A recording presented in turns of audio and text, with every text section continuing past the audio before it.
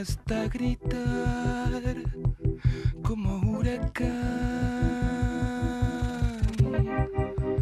Debo silbar y creer que ahuyenta el mal y no confesar que siempre